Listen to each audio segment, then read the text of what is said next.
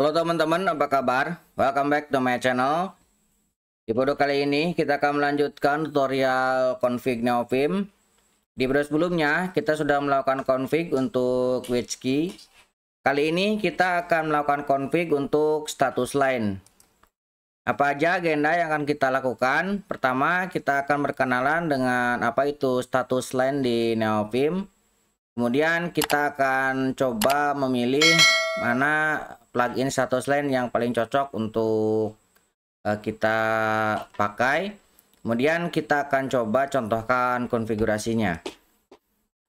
Apa itu status line status line di Neovim adalah baris informasi di bagian bawah layar yang menampilkan informasi tentang file yang sedang diedit mode operasi operasi baris kursor dan lebih banyak lagi Secara default, Neopim hanya menampilkan nama file yang sedang diedit, tetapi status line ini disesuaikan untuk menampilkan informasi lebih lanjut.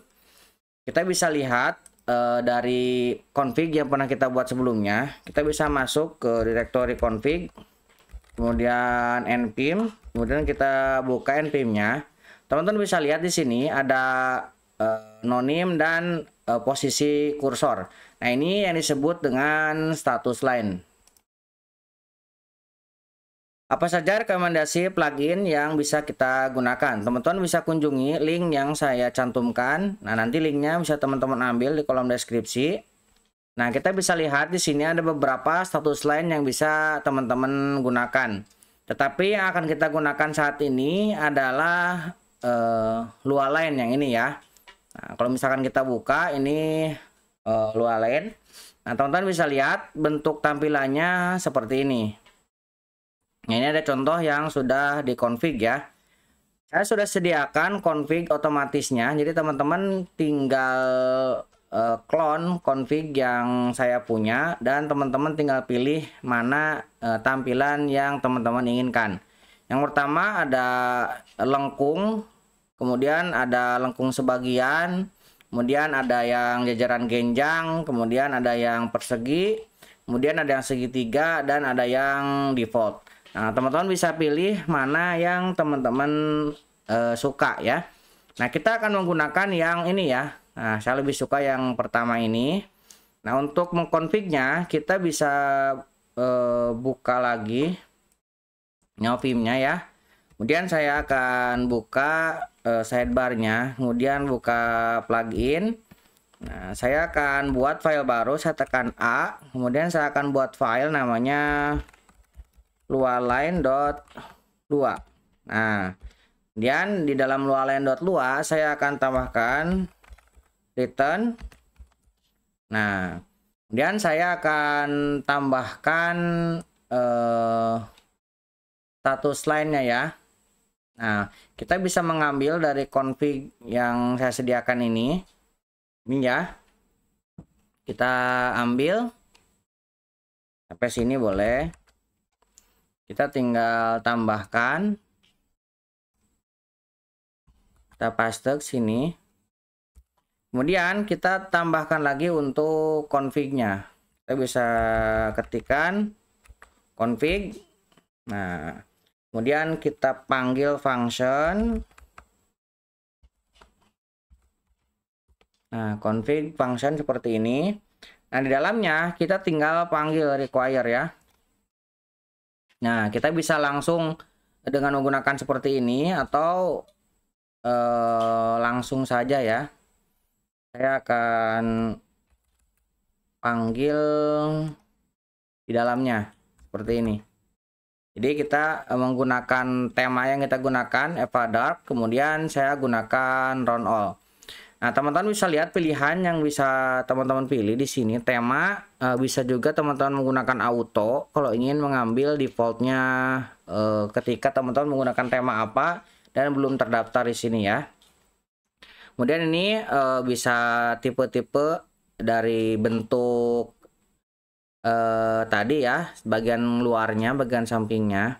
Kemudian ini ada output dari status LSP-nya, status modenya. Bisa dengan 0, 1, 2 dan 5. Saya akan coba ganti dengan 5 ya. ini kan uh, saya dua saya akan ganti dengan 5 kemudian saya akan coba uh, tulis nah saya juga akan coba uh, close kemudian close close dan kita uh, load ulang. Oke ini sudah terload. Kita close kemudian kita buka ulang. Nah ini tidak ada error. Kita buka lagi sidebarnya. Saya akan coba buka init. Nah, teman-teman bisa lihat di sini uh, sudah ada keterangannya ya. Ini lua ls sudah ada. Kita coba uh, install mesin install misalkan stilua nah ini untuk formatter uh, lua ya nah Nah, sini belum muncul ya, baru Lua LS aja. Kita coba sekarang buka lagi. Nah, kemudian kita buka tadi yang config kita. Tadi belum kita format ya, Lua lainnya ini. Nah, ini nah ini baru still Lua. Kita akan coba save. Kita klik dua W Nah, sekarang auto formatnya sudah jalan ya, dia menjadi rapi. Dan di sini sudah muncul ada Lua LS dan Stilua. Dan juga trisitternya ini warnanya hijau, artinya dia sudah terinstall trisitter untuk luanya. Kalau misalkan eh, belum terinstall ini warnanya merah. Dan tabnya ini dua, jadi ini sudah ada keterangan tabnya. Dan ini gitnya belum terregistrasi jadi ini gitnya masih eh, kosong ya. Nah ini. Kemudian kita akan coba mode insert. Kita tekan i nah dia berubah ikonnya mode edit ya. Nah kemudian kita coba mode terminal. Kita slash. Nah ini terminalnya tertutup karena kita eh, belum menggunakan eh, common eh, inline mode ya. Kalau misalkan nanti udah muncul nanti ini ikonnya bisa berubah sesuai dengan mode yang kita inginkan. Kalau kita blok nah dia berubah. Ini ikonnya sesuai dengan yang kita lakukan. Ataupun misalkan kita R. Nah replace mode ini juga berubah ya. Nah jadi ini mode-mode yang bisa kita pilih. Oke untuk status lain kurang lebih seperti itu. Mudah-mudahan bisa membantu teman-teman. Buat teman-teman yang belum subscribe, jangan lupa subscribe dan nyalakan tombol loncengnya. Sampai ketemu di video selanjutnya.